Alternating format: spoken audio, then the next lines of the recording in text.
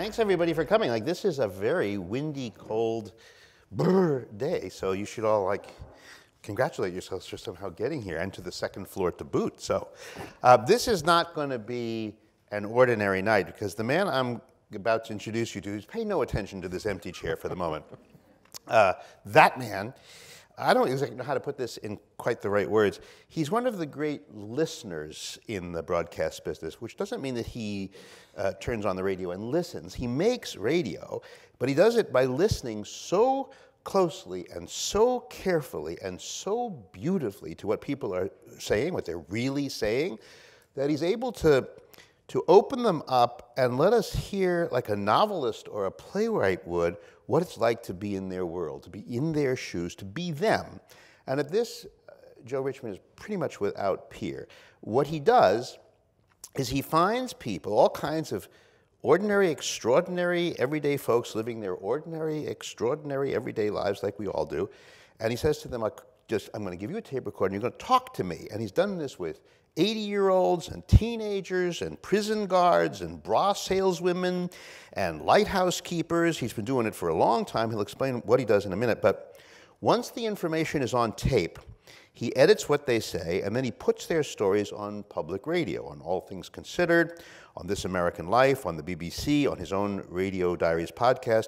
He's won, I would guess, pretty much every award a person can win in broadcasting, including the highly coveted Peabody Award. He's an uncanny picker of people. And tonight you're going to meet some of those people, both on tape and right here on stage in the flesh.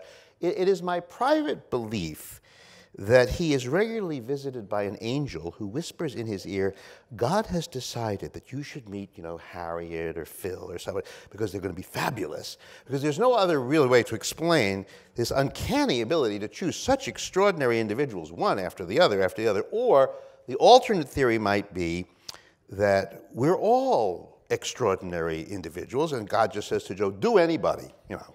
You'll find out why I made them. And he does. So here he is. This is God's anointed storyteller, Joe Richman. so, uh, so my night, my night is done.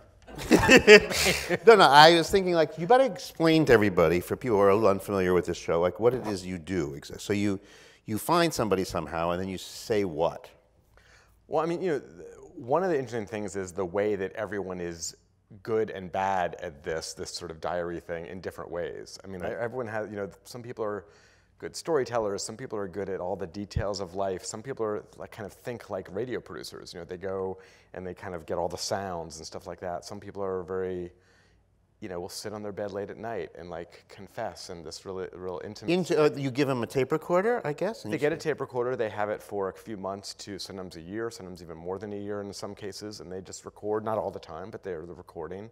And, uh, and we put all that tape together into these stories that air on public radio. And are, are there, are there I mean, you say they have different abilities. Are there certain things that are really hard to find? Like, do people like forget for three months? I mean, or lose the tape recorder?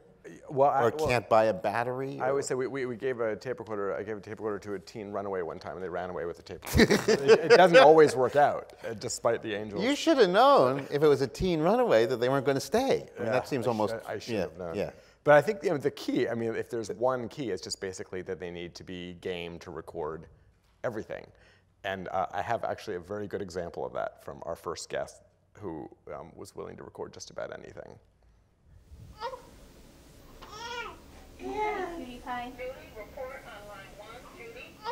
Today is October the 9th. And I have a brand new baby boy, seven pounds. His name is Isaiah Seto.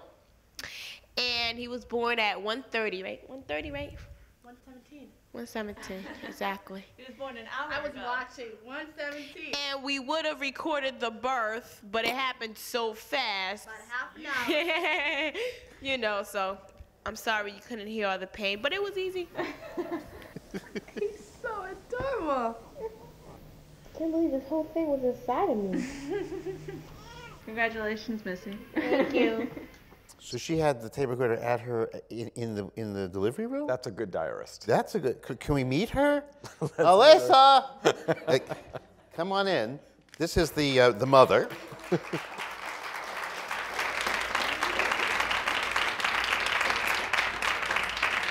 This Melissa Rodriguez, having delivered, uh, like, so this is, that's, that's, that's the first of two, right? Correct. All right. Um, I'm just, can we learn a little bit about you? Like, uh, before, like when you met, like how did you even run into him? I mean, it must have been before the delivery room, I'm thinking. The person who introduced, introduced us actually may be here. Is Rachel here? Oh yeah, Rachel is here. Rachel Barrett. Who I'm really wondering how this is going to go. who, um, who was Melissa's uh, social worker, caseworker, and a friend of a friend. And I was looking for someone who could document their, you know, a teenager who could document having a baby and that whole process. And so we met when you were about seven months pregnant. Correct. And uh, Was it, was it a knock on the door or something? Like uh, the social worker says, I've got this radio friend? Do you remember? Um, I think it was Rachel who actually um, told me about it first. Yeah. And then she asked me, is that something I would like to do? And I didn't think it was anyone was going to know it was me anyway. So I said, yeah, sure. Like right away?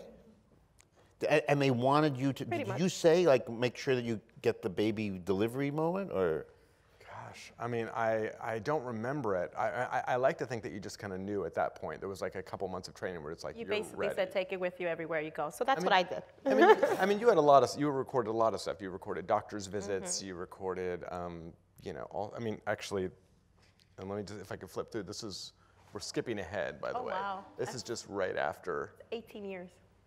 It- yeah. This is a, this is the, I think the photo from the first time that you actually left the house. Correct. That's AF, I remember. But um, but anyway, you did all sorts of stuff, including I have another clip of uh, driving around. Oh, with my friends. You, yeah, I remember you that. know this one. is, are you pregnant at this point? N- Or this is. that was, Yeah, probably eight months pregnant, driving around with your friends. I was still Okay, doing things I did before. All right, let's hear what that sounds. So you're just with, with the you're rolling with the girls. Sort of Rolling thing? with the girls. Rolling with the Being a girls. teenager. Right.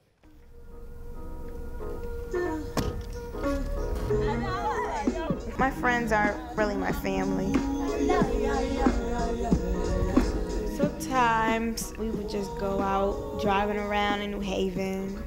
And we have like a little rating system. Like we'll take points away if he has an ugly car or if he looks raggedy.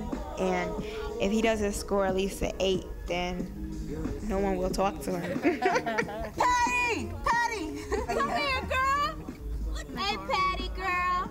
cute. I like that. All my friends have kids except for one. You ain't gonna ask how my son doing though, right? The good reasons why they, they have kids is because they think they're cute and they feel like something belongs to them.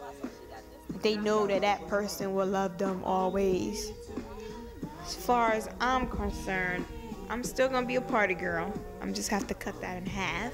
I'll probably just go out once a week rather than five days a week. Well, that is the bomb, baby. That outfit, oh, with the high waters and the shoes. So you're a very mature person. You know all about how life's going to go for you. So I thought, yeah. uh, half a half week partying, the other half mommying. Yeah. So uh, let me just find a little bit about you. Like, um, did you have a what, what? Like, what was when you popped into the world? Who did you belong to, and what happened to you? Going back, like you know, with the Um, I was previous. born. Yeah, born and youth. Okay, so I have a mother and father. Good. That's that start? puts you pretty much in the general Okay, circle good, of things. Good, good.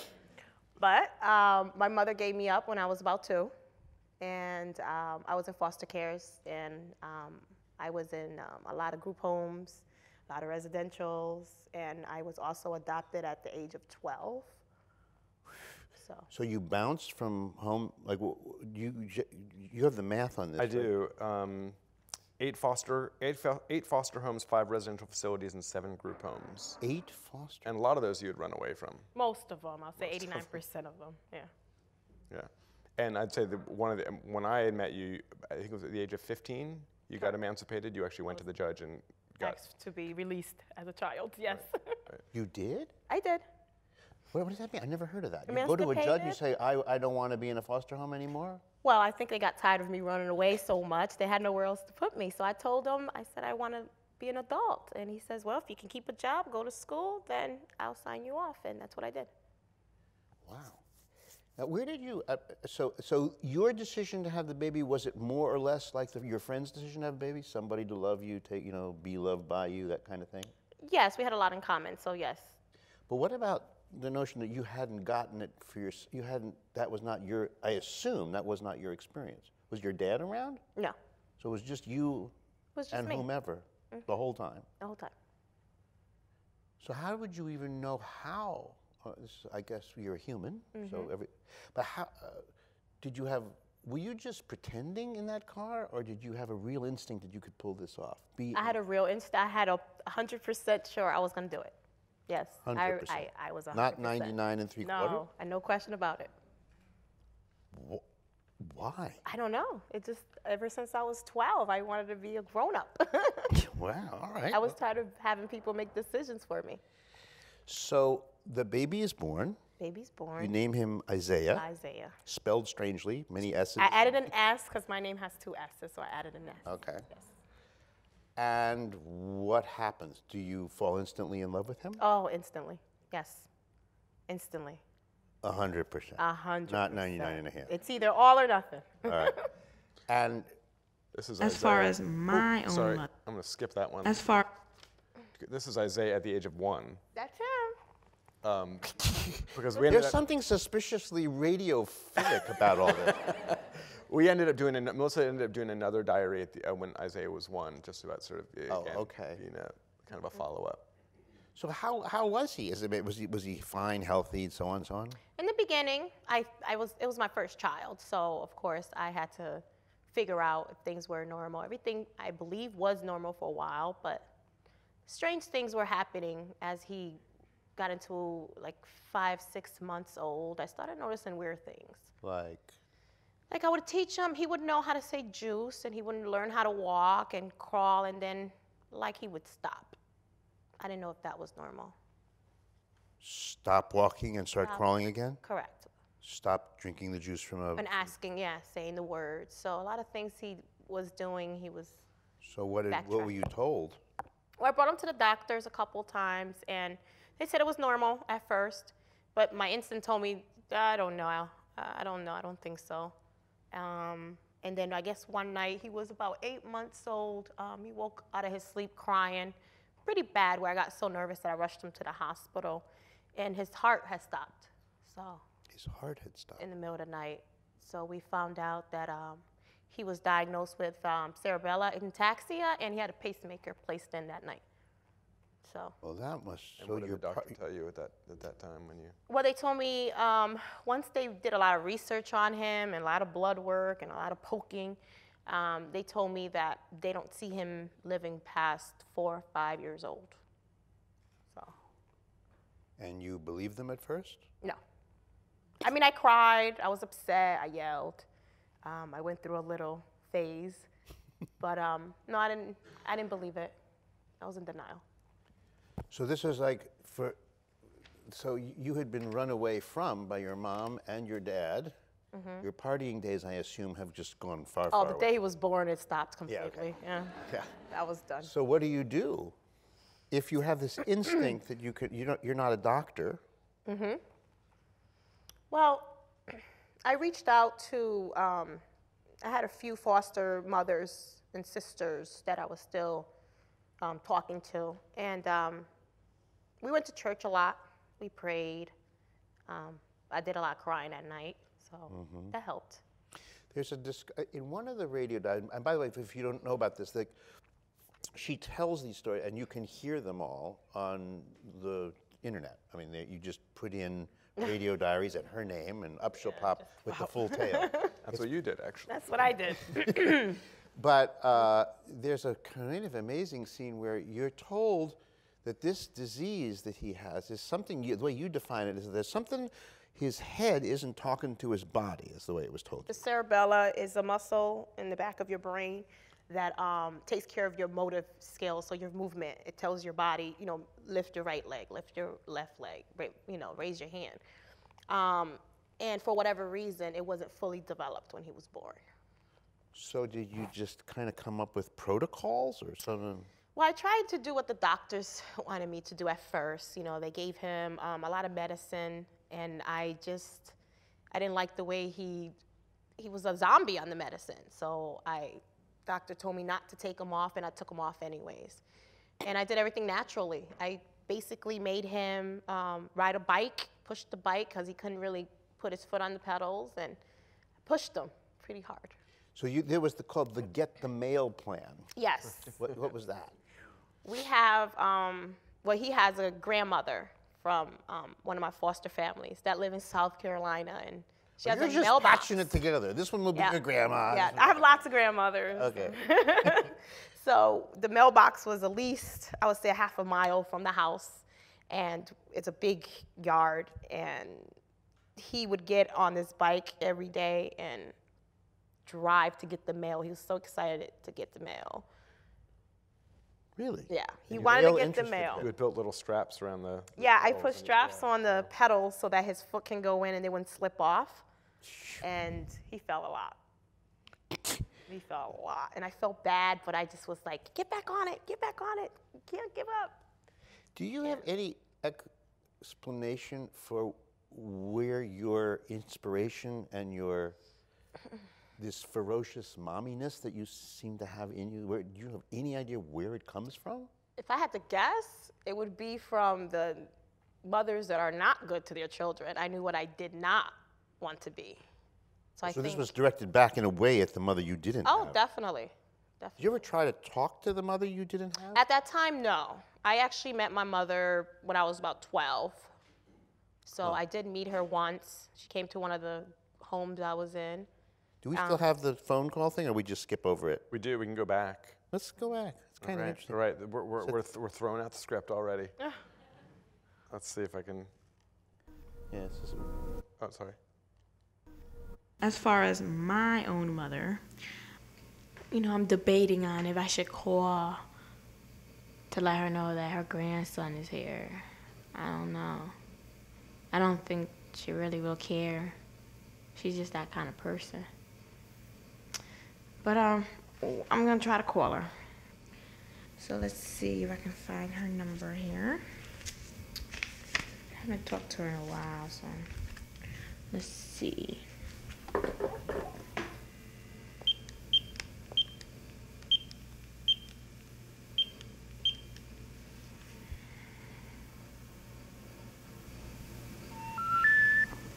number you have dialed has been changed to a not published number. Once again, Yeah, changed her number. Well, this this does. Well, I guess she won't find out that she has a grandson. Her lost. Your line I remember is uh, you said she gave you two years of her her life, and you said I have sneakers older than that. I do. I still have them. Still do. I'm still. I, I don't want to go back to this, but I just. Uh, I think it, now that you're an adult and a, and a real, you know, big adult, like adult adult, there must be some kind of mystery that you must ask yourself. Like, do you think this is like this particular stubborn part of you and the strong part of you is genetic or no? Not genetic. I think it happened during, you know, the years you, you go to group homes, you see a lot, you get kind of close to the staff, you get, you know, attached to the girls that you live with, and you learn from here and there. And I don't know, it just, it, my strongness came from all the tears. Well, at, at one point you you sit your kid down when he. This is the. We're now we're going to jump in time, I guess. We are. We're we're, we're jumping. So, so here's, here's the deal. Because because she was like the first one. Like like we, we, you got this idea that maybe you should explain like why we're actually sitting here. Well, the quick, I mean, you know, one of the interesting things that happened is that, um, you know, some of the diarists I remain in touch with over the years, some less so. Melissa completely disappeared. I mean, really disappeared, not just from my life, but from the other people around her that knew her. And for like 10 years, Yeah, had no 10 what, what do you mean happened. disappear? Well, well, I found later disappeared as in, I didn't know this at the time, but you had taken Isaiah and a photo album and left everything I got else tired of the split. hospitals and the, the doctors and their ideas, and So- I so- got fed up. It's 10 years where I hadn't heard What do you mean? Like you just you just I moved. closed the I- door? I took my That's son not and- moving. That's like Yeah. some other word. if you just leave, a disappeared. f- you disappear. Where did you go? Are I you just out- moved. I just moved um, away for a while. Um, and I just did not. I had too many people telling me things. I had people telling me that I should put my my son in like a home and and do all these other crazy things, and it was just I didn't a lot of negativity. But f- from my point of view, gone until all of a sudden. You, did three- you ask like wh- other people like where is she? And, and Sure. she I didn't mean, tell anybody. You know, people. I didn't mean, tell nobody. A lot of people didn't know. And then three years ago, which was really the origin of this whole series, um, I got this email. Oh, yeah, I remember that. Hope you remember me. I recorded my pregnancy with my son Isaiah Settle in '96. I ran into your email, and if you ever wonder about us, we turned out okay. I still have my awards. I'm writing a book about my life. 14, taller than me, five-year-old son. Hope you get this. Why did you Why did you decide to reveal your uh, situation To Joe? to him? Yeah. Well, I think um, I went online one day and Googled my name just to see what would come up. And then I see all these pictures of me when I was like 18. And these, I'm listening to these videos and I'm like, oh my God, that's me. So I kind of went into some websites and it wasn't hard to, to find his email. It says Joe Richman. And of course, I remember his name, but I thought maybe his secretary was going to get the email. So figure they would get Not an email. know, what you the don't know of about public public radio is a lot. All of our secretaries, we give them long lunches. huh. So you you you you get the call or you get the email. What an do you do? I mean, we, we were in touch, and originally we thought, you know, it's like, well, I mean, a couple things happened. One, you know, she had been frozen in my mind as this teenager, so all of a sudden, kind of recalibrating that, but also realizing that Isaiah is old enough to do a teenage diary was just kind of uh, shocking. So the idea we came up with is just let's. Um, he had never heard it. I learned that he had never heard the story. So the idea was let's play him the story and do like a little kind of postcard thing. And as things do, ha- you know, it, um, this it became bigger and bigger and bigger to this kind of full-on new diary, and that launched these other new diaries that became this five-part series of going back to other other people too. So that was the beginning. And did did you play your s- well? I was 18 years old at this point. Or s- six- 16. years old. was 16. Did you play him the, the the the tape? Once I did the last diary, I did, yes. All my life, I hid the video, I mean, the tape from everyone. No one ever heard it. No one. I could play that. Before you do, like, why, why, would, why did you not want to tell anybody? Well, when I did it, I was thinking diary. You know, when you have a book and you write in a diary, you put in your feelings and you close it and no one's supposed to look. So when I did it, it was my voice. It was not my face. Of course, it was on the radio and heard like. It- well, in the radio, yeah, I was listening to it, and no one looked at me and said, "Hey, that's you." No one knew. okay, Until I see. Yeah. All right. Well, yeah, let's hear it. Let's hear it. happen. Let me skip ahead one thing and see. Oh, this is Melissa now with Isaiah. That's the two kids. Oh, Which is Isaiah? Isaiah's that's Isaiah's the tall one. the, the tall one. Yeah. Cool. and that's Tai Tai. Signing in. When you were still in my belly, I recorded how my life was and how you were made, and you know, I was very young, only three years older than you. Yeah. So now I'm gonna actually play you the CD that I made, and it was all about you and me.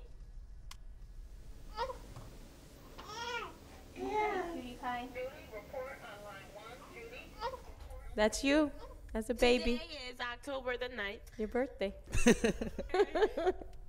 and I have a brand new baby boy, seven pounds. His name is Isaiah Seto, and he was born at 1:30, right? 1:30, right? I can't believe this whole thing was inside of me. It's funny to you. yes. Can you can you ju- what's he is he like? It must be weird to him. It is weird. It was weird for him. He was like, "What is this you're playing? That's me." oh yeah. Was he like thrilled secretly, or was he just embarrassed to be himself? Both. Yeah. He was surprised. He was thrilled, and then he was like, "Wait a minute, you put me crying like a baby on there?" So And then it goes on, right? It goes on. I mean, one Oh, of the things goes that's on. happened. I mean, like I, I feel like what happens next is the kind of thing that, the kind of conversation you would never have with him, if it wasn't for a microphone. This moment.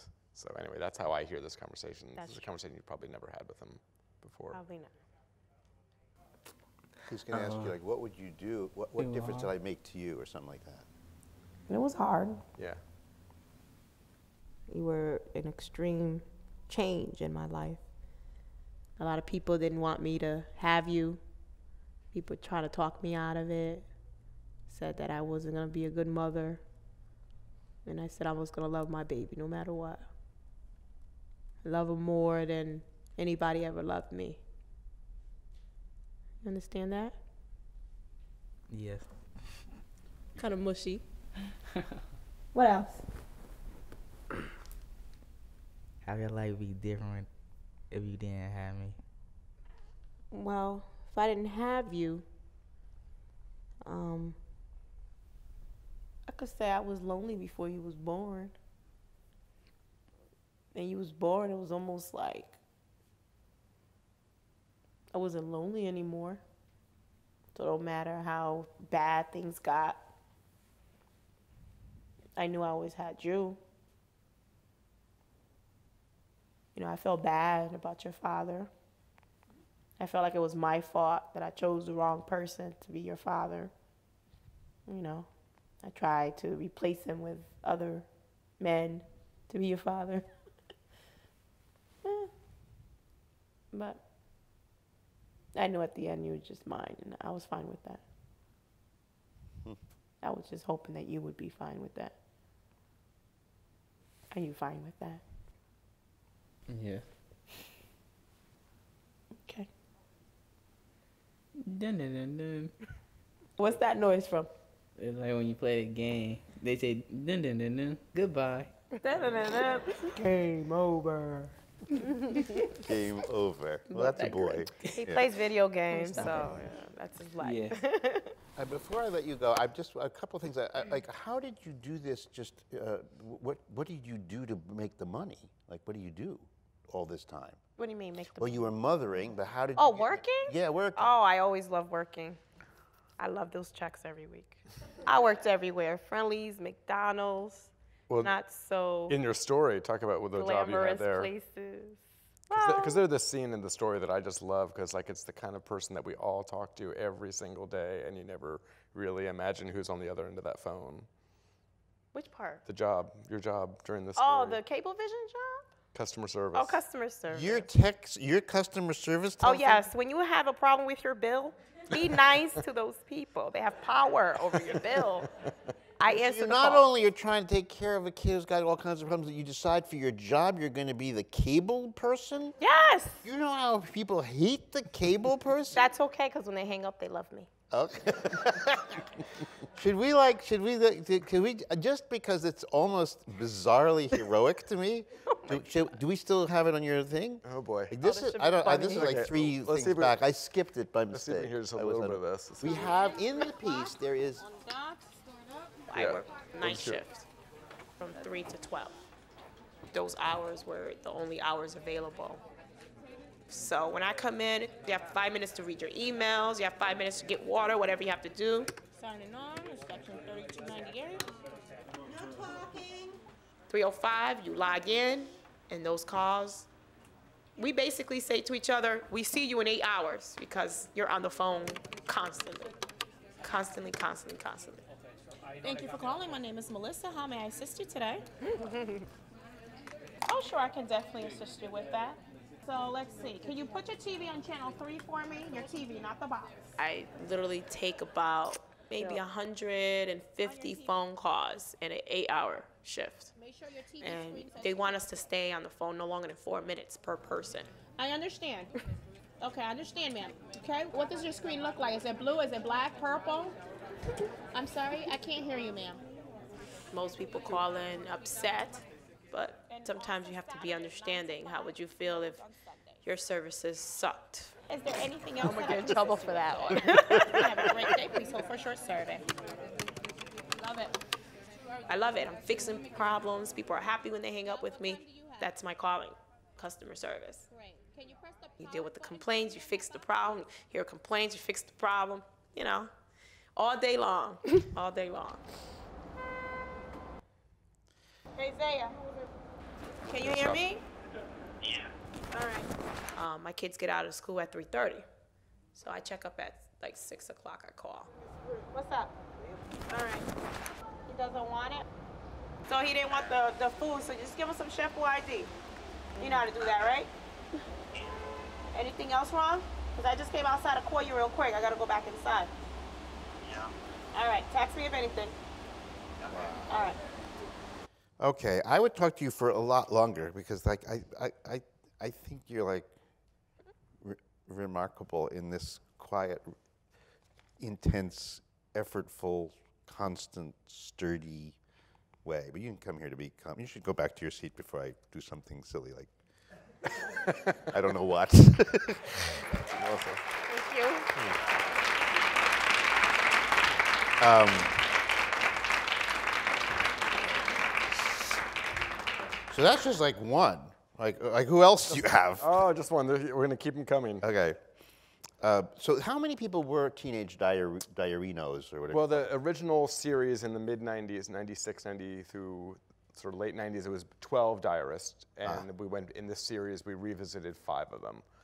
Um, but I would say this next one, like, of all of them, the one that people kind of over the years asked me about, like, where, where is he now? What's happening now? Um, wa- was this one. okay, so uh, Let me advance to it. Oh, let me do the introduction now. Hi, my name is Josh, and I'm 16 years old, and I live in Manhattan, in New York City. if you saw me on the street, you wouldn't notice anything different about me. I mean, I look just like a normal person, except for after a while, you'd realize I'm. I don't act much like a normal person.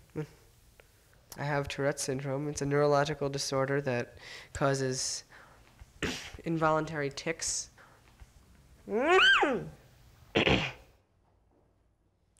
So that was Josh Cutler back then, and this is Josh Cutler now. Mm-hmm. And uh, Josh. Josh, this is Josh Cutler now. Yeah.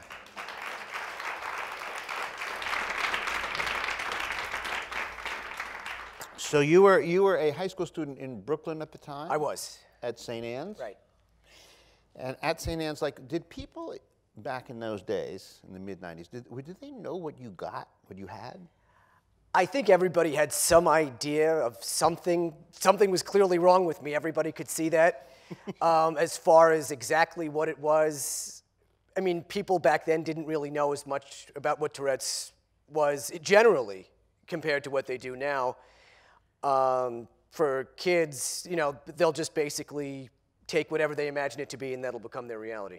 And and did you did, did you call him up and say, oh, you go, you know, whatever he does, he does, and I, I want you, or what did how did this? Well, we met. We met at your because this was actually in the very beginning of the series, and I was interviewing a whole bunch of kids in different high schools and some at St. Ann's. And teacher came up and said, "There's a kid here with Tourette syndrome," and so I we talked. We met at your school. And I remember thinking for a long time after we started working together, this is not going to work out. I thought so too. a long time. I'd say a long time.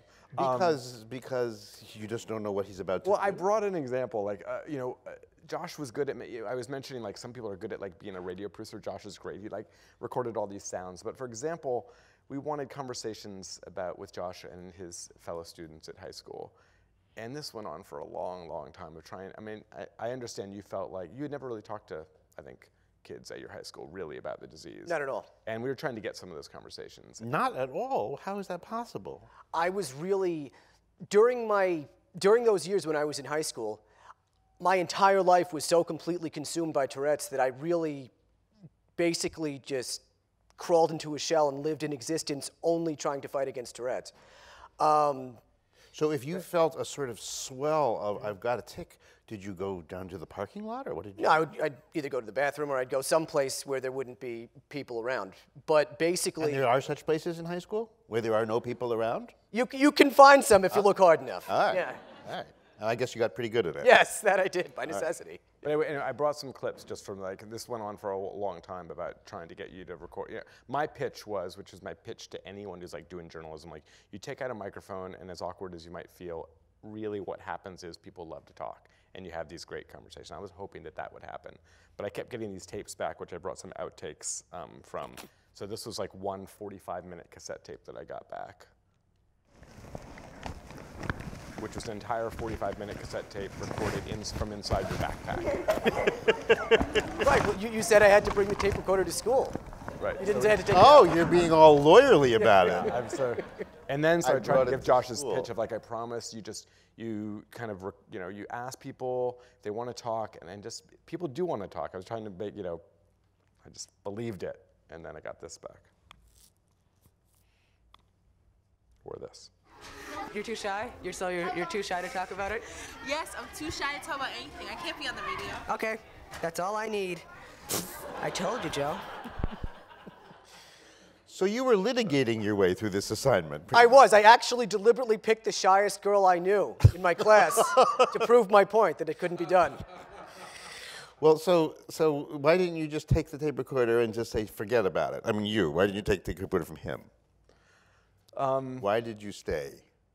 That's a good question. I don't know. I mean, you know, I, what happens in a lot of these diaries is people start to get bored with the kind of like performancy, um, kind of like news anchory thing that they think they might be doing, and they just, become more themselves. And I think that was starting to happen with Josh. And uh, you know, Josh's mom was a real kind of collaborator in this story as well.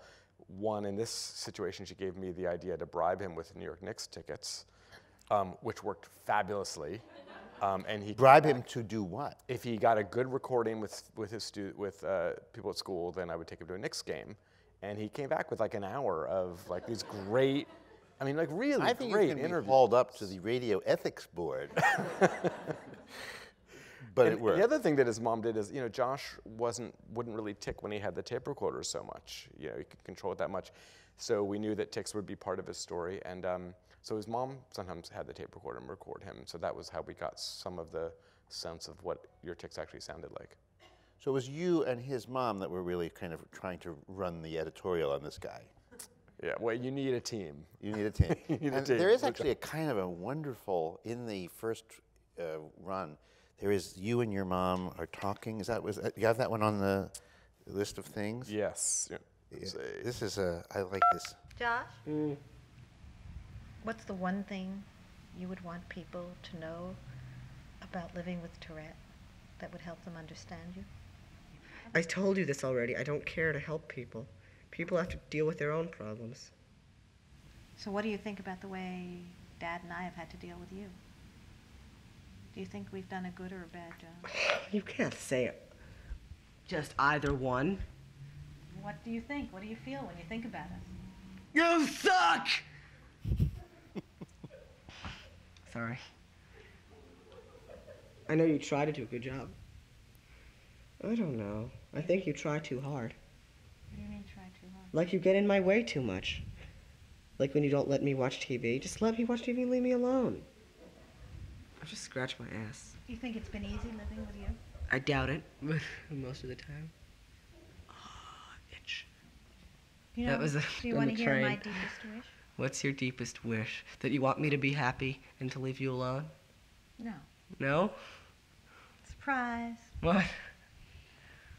I wish that I could just have a conversation with you like other mothers have with their teenage children. You could.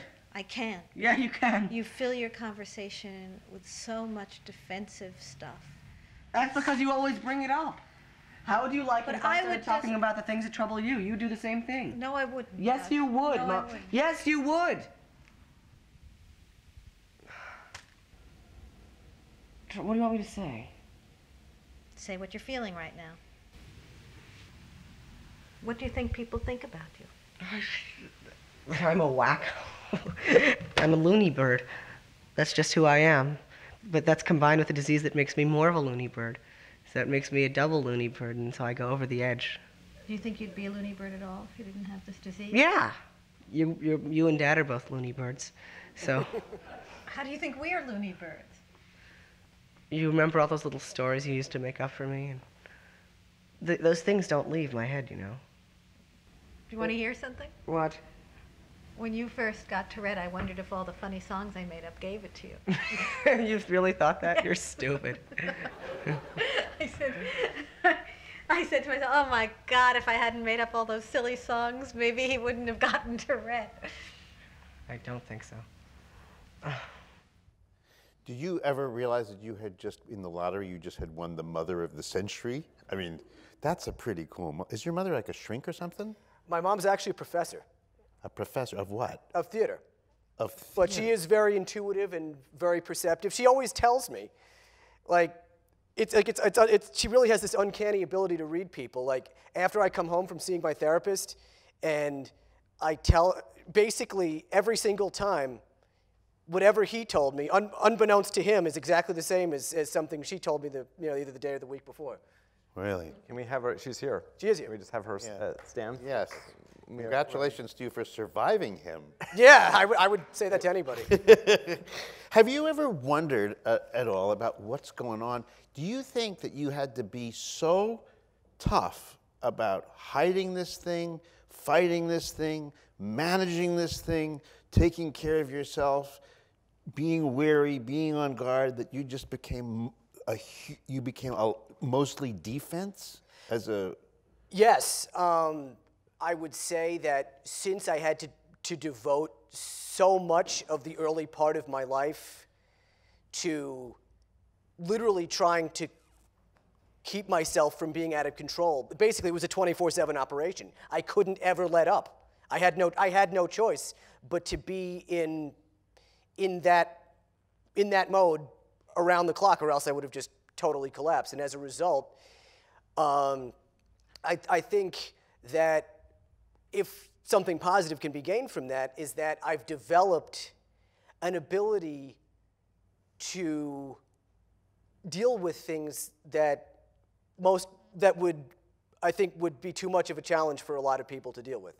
Do you ever do you ever like close your eyes and imagine yourself just sort of dancing in a meadow somewhere, free of all anxiety, and just thinking, uh, I can talk to anybody. I, I don't even have to say anything. I am I am I am. If this is TV, I'd want to close up on his. there, there, there is a TV screen in the other room and they're filming it. So Well, I know this is like a weird question, but I'm, what I'm actually wondering is, is at a certain point, like you, you're, you're Touretteing, of course, and you're going to have that for the rest of your life to some degree or other, but you're also defending fiercely all the time. Like maybe your defense is now bigger, your, is your bigger weight than your disease. Because look at look, you're you're certainly going after your mom in that tape. We haven't gotten to the later stuff yet. Um, I think at that point in my life, it certainly was. Um, fortunately, in my case, as with, with most people with Tourette's, as adolescence ends and they go and they enter into young adulthood, um, the severity of uh, your tics gradually start to wane, and so it hasn't been as much of the, the tics themselves haven't been as much of a problem now as they were then. and are you more more in command now? Oh, I don't most definitely. Yeah. I mean, if you knew me as a kid com- compared to the way I am now, there's literally no comparison. Which is not to say that I don't I don't still have Tourette's because of course I always will. Yeah. But at least it's now manageable. So you went to college? Yes. Graduated college? Yep. Got some prize and The stuff award. like that. The award. What is it? The Leo Oh, yeah, yeah. Prince.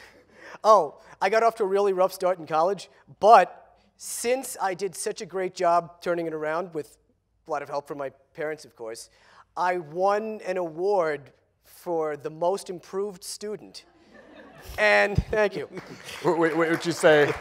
It's not not an award. right. It's, I, I- when, I, when I went up to give my, I, you know, I got to give like a little two second speech when I went up to get it, and I said, "This is de- certainly not an award that anybody sets out in advance to win." and then you yelled, "You suck!" instead That- yeah, well, there were some people I probably could have said that to legitimately, not as a tic. Okay. That wouldn't have been the moment. so then, did you get a job after and so forth? and so yes, on? I did. What do you do? Well, for quite a while, I was uh, a teacher. I got a, I, I got a master's degree uh, at Hunter teaching ESL. And then for uh, about seven years, I taught uh, third grade ESL class at uh, school in Astoria. But about almost four years ago, um, a child, uh, I, I, was, I had a very violent class, and I constantly had to break up fights to stop the kids from getting hurt. And about four years ago, one of the kids in my class uh, accused me of intentionally trying to hurt him while I was breaking up the fight, which of course was crap. And uh, I was immediately removed from the classroom, and I haven't been back since. So you're now in some sort of limbo? Yeah. Oh, for four years? Four years, yeah. Is that because you're stubborn like you always are? Like you don't want to give them any, like, because there's probably some litigation or arbitration? Well, it, it's funny you said that because we went through an arbitration, and and which you know this this process is, is such a mystery to most people because they you know you, we hear all these stories about you know some teacher was brought up on charges, but very few people have any idea of what that actually means of, or of what that process really entails. And I can tell you, it's a brutal, terrifying, traumatizing experience, especially because, as I've seen happen to so many of my colleagues, the vast majority of the people this this happens to are totally innocent of any wrongdoing whatsoever. But if you're This is part of what your, of Yeah. your story is about. That, that's that you go into this. Yeah. Yeah, and now my my lawyer told me I'm in an even more strange situation because from what I've been informed, the arbitrator in my case was fired, and my lawyer told me that she has no plan to ever issue a decision, What does that mean? which means that unless I find another job, I will stay in the rubber room forever. And the rubber room is this room, the limbo room. Right. Where you just do Yeah, whatever. whatever I want. You don't teach. Right. I, I, they said, you know, basically you're free to spend the day doing whatever you want. Well, see, that's what I'm talking about. Like maybe you you are you are so on guard and so ready to be like to, to have to defend yourself that you four years is a long time to get ready to defend yourself and not even be able to defend yourself. Well, let me just ask about other things like uh, girls, uh, social life. So, are you now like a cool dater and a? Oh yeah, I've. You, you know, it's funny. I, I missed. It, it's interesting you brought that up because, of course, It is interesting because I, that's our next tape clip too. That's why I do anything. so so so I'll I'll give you the, the say. Do you want to do the clip first and then and then I'll respond, or do you want me to? Wow, that was like lingo. Give me the next thing. Uh, no, uh, set it up. What's Um, you know, you know what we're going to. Talking about with your dad. yeah, I figured as much. Okay. Um, yeah, I mean during. You're working with pros here. Yeah. We will just we'll lay back. You go and carry the ball. Okay. Um, during uh, during my high school years, dating was basically out of the question. Um, I was so completely wrapped up in controlling myself that basically I had no adolescence. I, I, I missed all those years of socialization, all those years of you know be, of beginning to have those you know both uh, platonic and dating relationships that really develop into you know what form the foundation for what we look for in the future. Um, starting in college and then thereafter, I certainly made up for lost time. Um, We're not asking about that. no, no, no. I, I mean, you know what I mean. But I uh, think actually we just go to the clip. Wait, wait, I, no, I was Yeah, you have to learn how to do this with more. done. Yeah.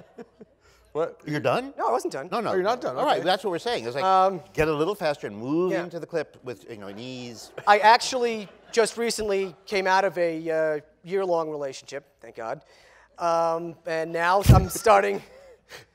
I'm, I'm starting back at square one. All right, but then somehow your dad was getting interested. Yes. Do that part.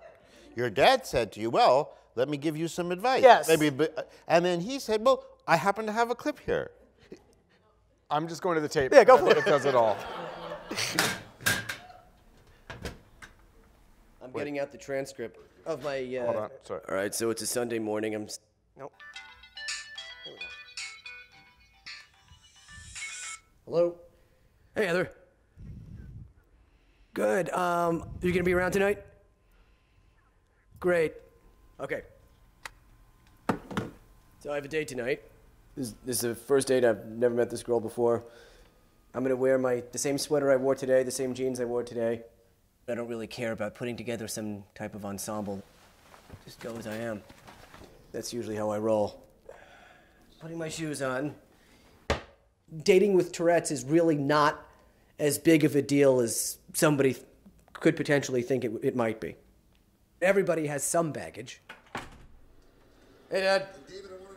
What's going on in the game? Uh, and it's uh, loaded. It's three nothing. I'm texting the girl, telling her I'm on my way. You know, Josh, when you are out on a date, Oh God. uh, your mother and I wonder about it. Sooner or later, if you get close to a Right. girl, you've got to reveal it. You've got to discuss it. You You know, can't why don't I just bring you out on the date with me and you can tell me what to say? and we, we can't obviously tell you how to run the most intimate part of your life. But if you want some help, I mean, open up to them. about this. Oh, I'm, I'm willing to be open and vulnerable, but it's not necessary. I want the date to be about me as a person, not me having Tourette's.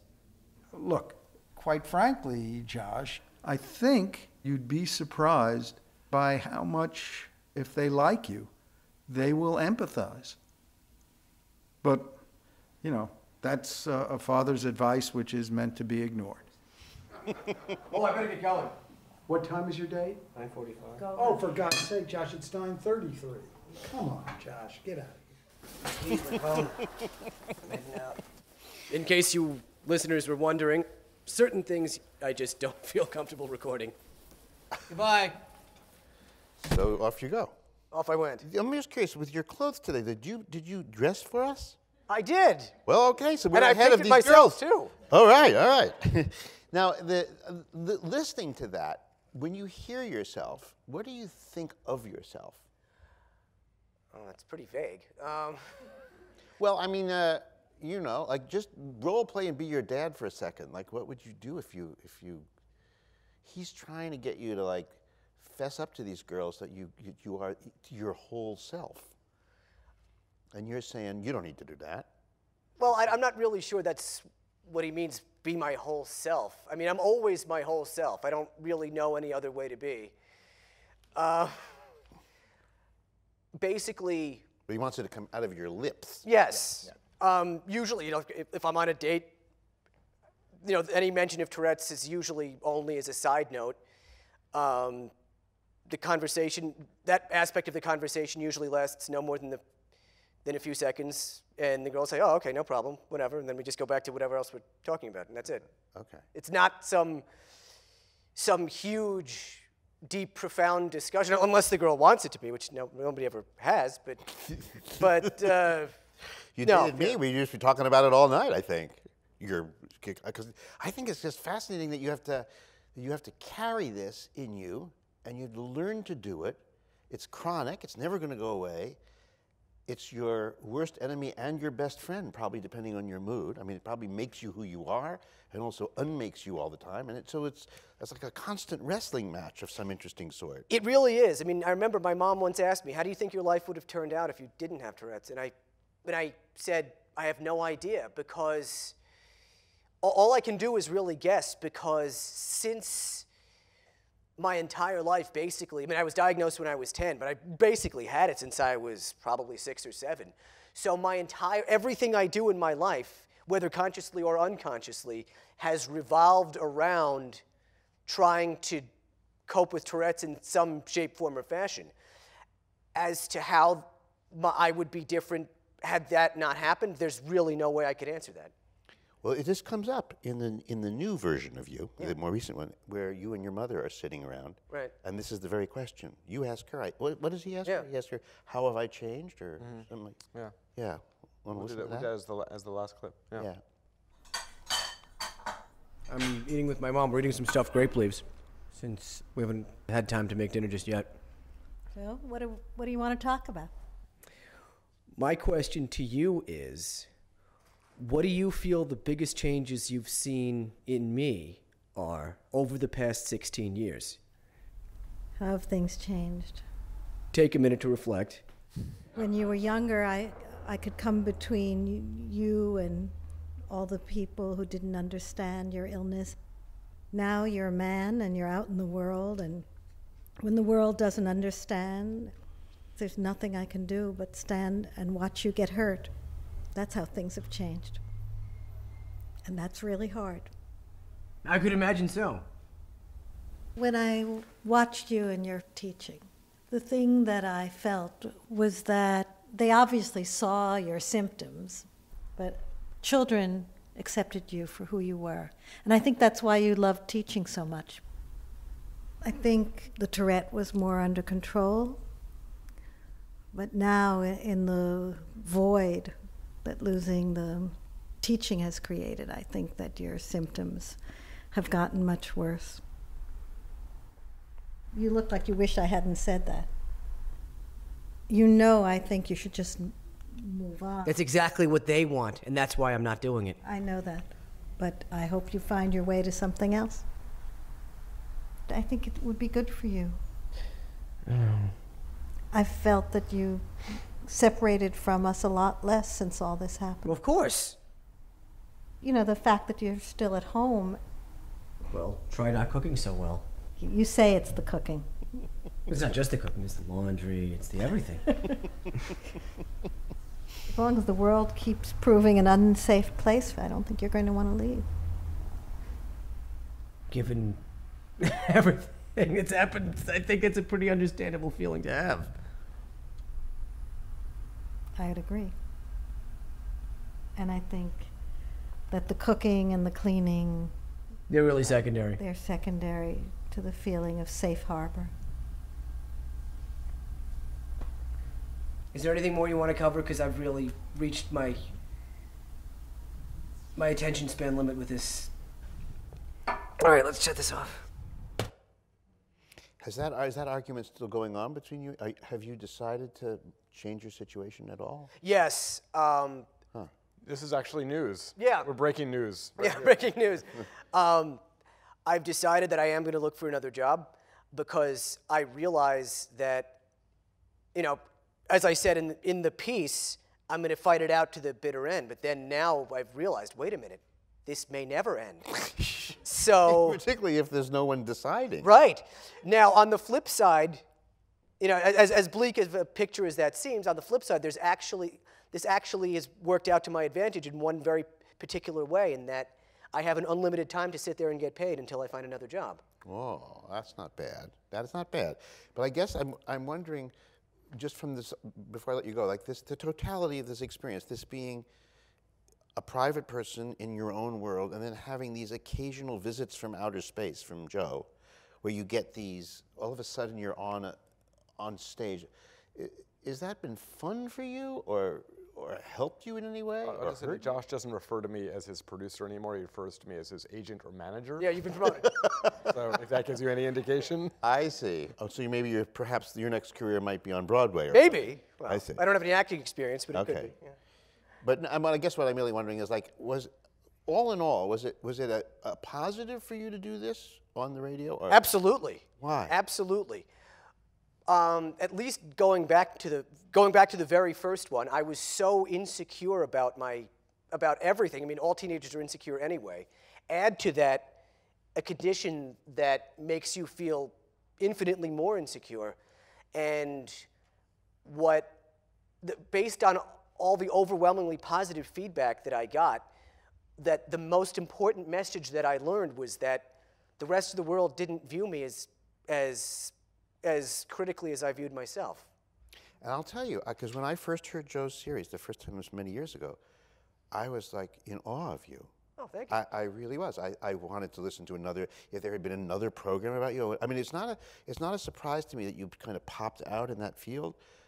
First of all, because you're somewhat strong in many ways, stubborn in many ways too. But but it's also it makes you a little indelible. I think, uh, for better or for worse. Anyway, thank you. Thank you. Head back to your seat, and we'll come back. Thank you.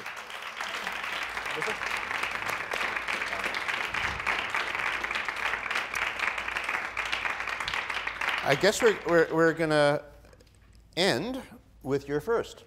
End with my first, yeah. I mean, this is like this whole series made me feel a little bit old to you know revisit them all, but uh, but this was the very first one. This was Amanda was sort of the experiment, um, the experiment to. Um, this is Amanda Brand, 17 years old, back in 1995, actually, and. Um, Do you need us to know stuff about her before? I don't think so. This is Amanda now, and I think we should just bring her out. Okay, Amanda.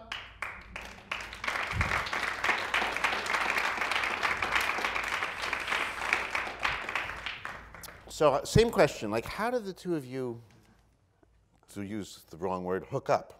Ah, to use the wrong word. Um, I met Joe really funnily through um, a casting director that you A friend knew. of mine was the casting director who w- had worked on uh, Kids, and you had been you and your sister had been extra. Yeah. This is sort of interesting because the original idea was to have two sisters who were very different, and your sister Audrey just kind of like didn't have much interest in the whole thing, and let's face it, I'm more interesting. no, she's great. She's great. But I just had more to tell, I suppose, and that's how it, it kind of gotten shifted to two So sisters. did you both get tape recorders and she threw Yeah. hers away, kind of? Yeah. Well, no, she didn't throw hers away. She did her work, but I, I just think like at the time for her, maybe there wasn't a direction or a story that might have been really significant, and for me, there was. So what was the thing that kind of got that, that caught both of your attention about you? I, well, I mean, I was just talking about myself, so really, I guess this is a question about you, because I, I, you know, You were just doing being just you. yeah, just being me. So what I was mean, it? You know, this was a story. This is the first one. This is like really kind of what the hell is going on? I don't know. But you were recording a little bit of everything, and it was obviously a story as we're going to hear. It was a story about coming out. Yeah. Uh, I don't know how to prepare you for this. I, I find this one of the more interesting bits of tape you'll ever hear. I don't even know whether to. I'll just. I guess I'll just tell you what I'd like you to listen for because it's so intriguing to me. Um, this is. How old were you when you were doing this? Like 17, like 16, 17. 17, yeah. and where she's going to be talking to her folks about something as intimate as her as her gender her sex preferences. I am amazed at the way you do this. Like you are fierce, tender, crazily breaking every conceit. I mean, I would never, ever, ever talk about my parents' sex life to my parents. I would never, ever, ever, ever talk about my sex life to m- my parents. And wait till you hear this. This is, well, just hear it, I guess.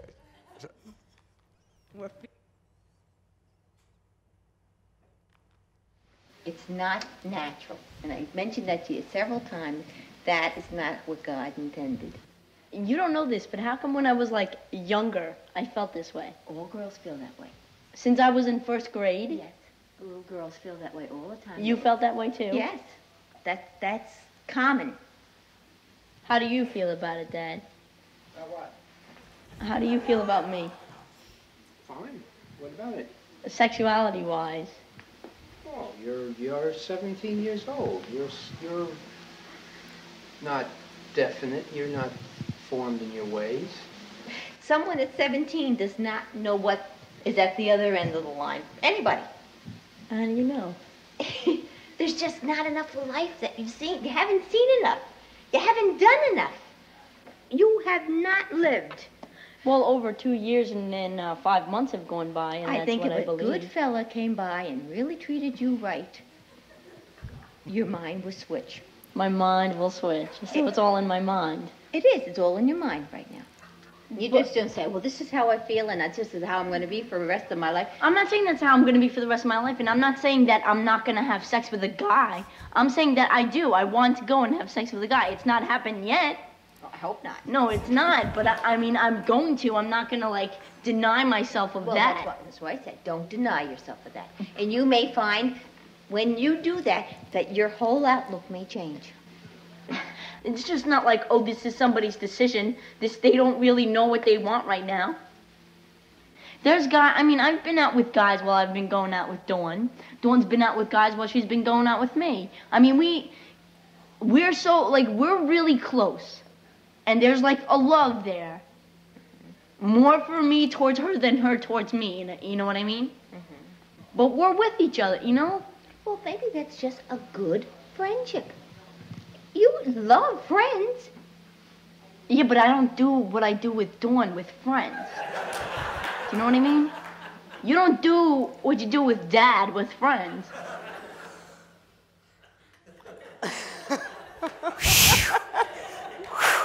The talk, the birds and the bees. We like so, Joe and I have been like arguing about this. I I said to myself, uh, like, wow, uh, he thinks that your mom is the hero of this conversation. I think you are. Uh, I, I, you go first. Well, I just, I mean, and I didn't, I don't remember thinking this at the time, but as we started working together and looking back and hearing this tape again, I thought, like, I don't think I appreciated how brave your mom was at the time, you know, like to let you do this story, to be part of this story, and to be in this conversation in this way. I just, and maybe as becoming a parent too, like I had an appreciation for your mom in a way that I hadn't earlier. You know. Yeah, for sure. But I thought to myself, like, what did you know about them? Like you, like a lot of kids who would have done that, if you if you go as far as you did in that conversation, you might have risked that they get really angry and throw you out of the house or get really perturbed. You must have known that they would love you anyway. That must have been the ground on which you walked in Of this. co- course, yeah, of course, without a doubt. I mean, they always supported. I- I- I'm one of four, and we're all different. And, and I mean, I'm the only gay one, but like, bottom line support. I'm gonna get emotional, and look what I brought in my. the one thing you've learned from all. I forget. um, support. They are, they're here, by the way. They are the best parents in the world. And But aren't you like one of the fiercest daughters I in the I don't think so. Just- I know. I want to make your case. I, I think to, to, to, go in as hard and as fiercely as you did, to be loyal to your girlfriend at that time, to mention what you were doing with your girlfriend at that But time. But they already knew what I was doing. well, That's not in a conversation, probably. They probably just Uh, suspected. right, right. It was a bunch of suspicion, but like you know, when you're inseparable, you. It, I just feel like if it wasn't for the microphone and it wasn't for the tape recorder, we would have never sat down and had that conversation. It kind of would have been this Amanda's friend situation forever. You understand what I'm saying? Yeah, I do. Well, eh, uh, what's your mom's name? Kathy.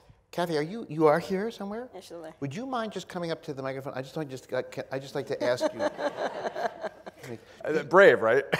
yeah. That, do, do you feel like listening to that? Do you feel prouder of yourself or prouder of her? Oh, I'm sure. we're, we're, we're very proud of her. And she's really opened our eyes to this whole situation. We, we never, you would never think that when you have your, uh, your children. And when she brought it to us, I, I was afraid for her. And uh, well, one, one thing it was You're a, you are a traditional Catholic yes, family, regular. yes. You went to mass and. And if you go things. back 18 years, this is, you know, no one has come out yet on, on uh, social Yeah. television or anything.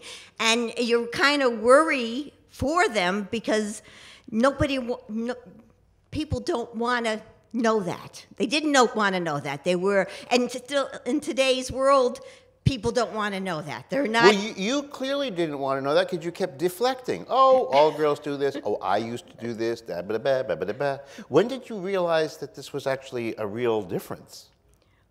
when she told us. Th- that night. Huh. Huh. So it was a learning experience for both of us. Know. And, and, and then, then, well, then what happens? Does she change sides?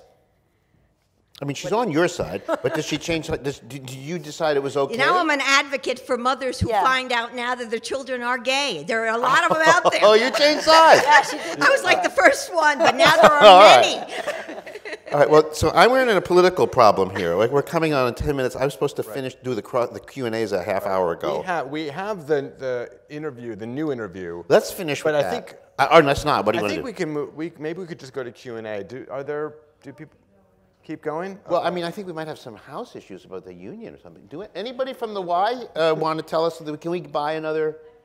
Yeah, Ms. Y spokesperson. Can we get another like seven minutes, or what do you think? Ten minutes. Okay. What does that mean we should do? Play the tape or go to the questions?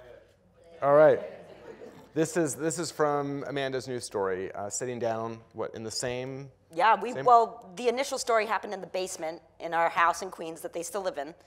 So 17 years later, we moved up to the living room, and uh, we moved up in many ways, politically, relatively, in general. In general.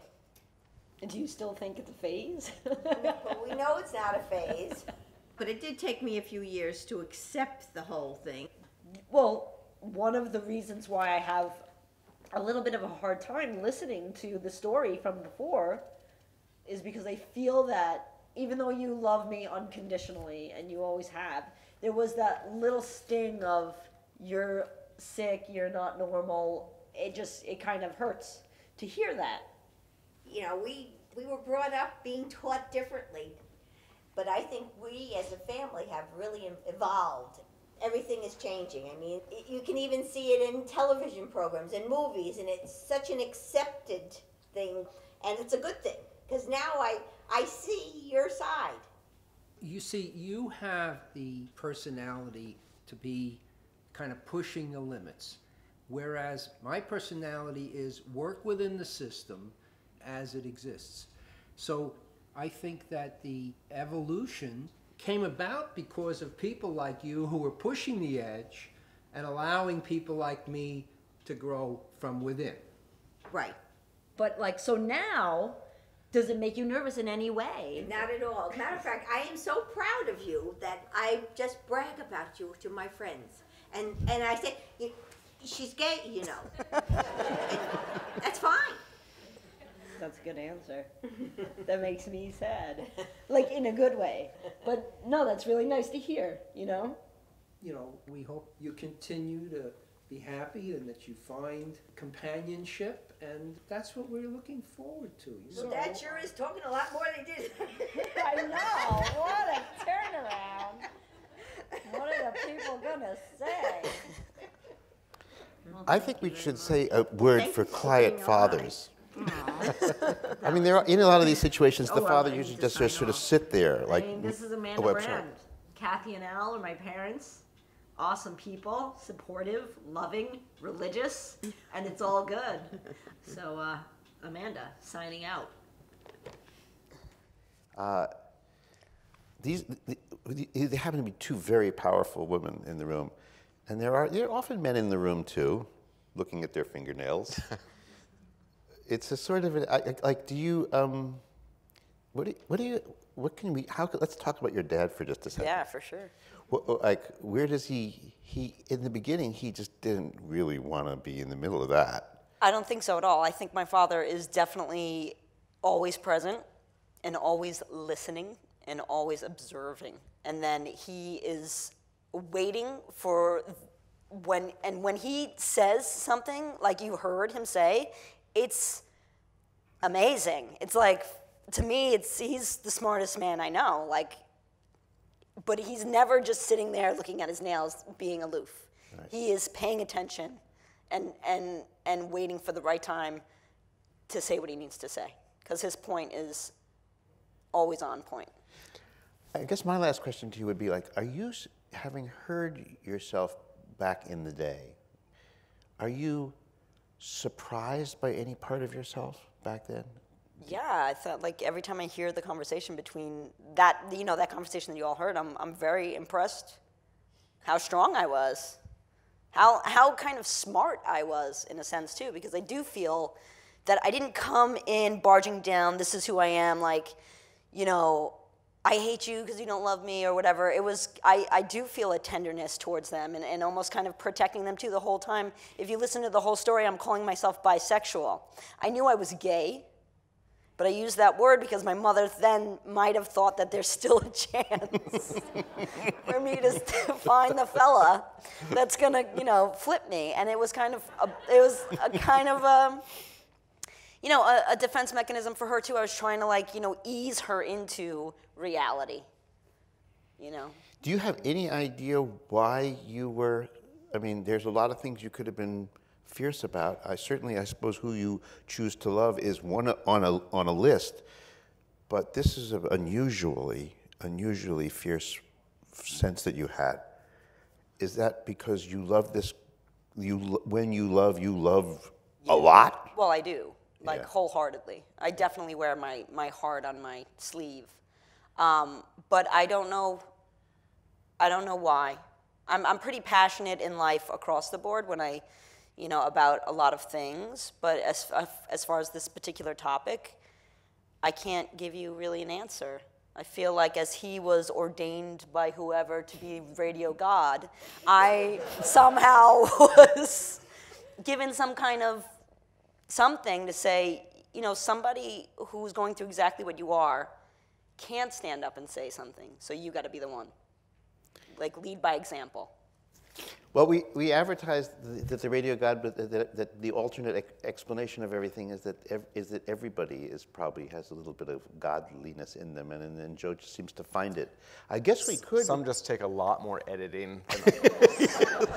I don't know. The risky thing to do now would be to ask the two of you to come up here and sit in our chairs, and then any, and we'll, we'll, we'll take I think three we questions. don't have that much time, have time. for Q and A. Is, is that right? Uh, I think what we could do is I think we picked like a bar somewhere nearby, and if we can figure out what that is, we can just go there, and whoever yes, can if go. you have questions, maybe we'll do it that way. Because otherwise, Do it that otherwise. I don't know what happens. But So if maybe by the door, uh, Nellie or Sarah. there is a bar in the back. Are, you, are people allowed to stay and drink a little bit? Or sure. Can we? Can we stay?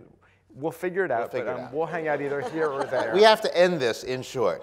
so Um, you, if you can stay a little bit, you can go over there and join them a little bit, and we'll we'll leave with you. Okay. Thank you all for coming. And I thought we could close. Oh, with oh, one yes. thing. No, we have to do a little bit of advertising.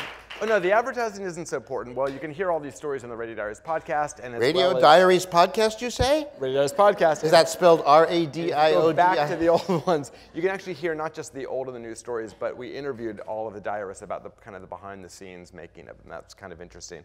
But I thought the way to close, we were talking about Oh, endings. yes, We were right. talking about endings, and Yes. endings especially. You're doing the story about someone's life, and like, how do you stop? What is the end? What do you look for to kind of make it feel like an end?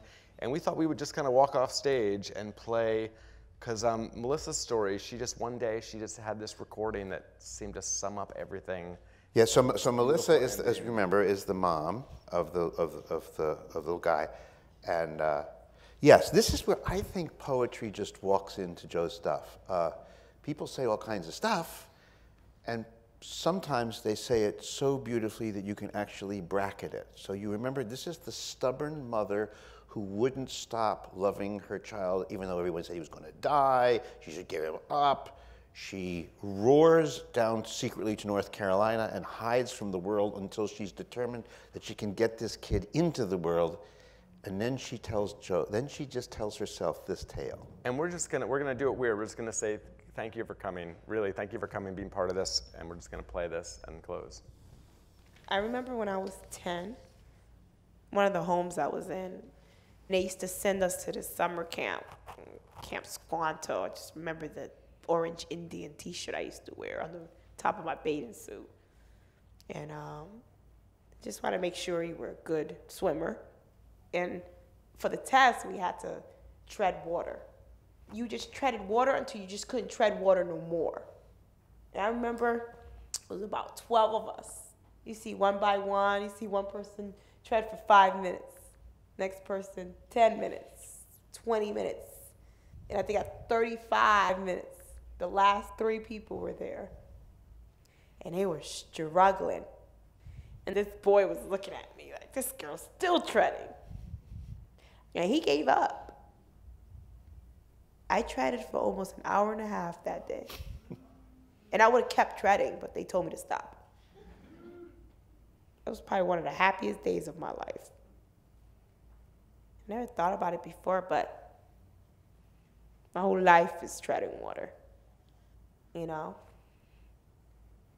You have no support under your feet. You have no support over your head. You can't hold on to nothing. You're just out there. Keep it moving.